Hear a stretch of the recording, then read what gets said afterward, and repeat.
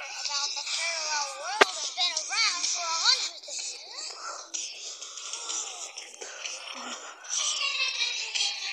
I never thought it